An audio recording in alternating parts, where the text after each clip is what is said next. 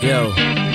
His palms are sweaty, knees weak, arms are heavy. There's vomit on his sweater already. Mom's spaghetti, he's nervous, but on the surface he looks calm and ready to drop bombs. But he keeps on forgetting what he wrote down. The whole crowd goes so loud, he opens his mouth, but the words won't come out. He's choking how? Everybody's choking now. The clock's run out.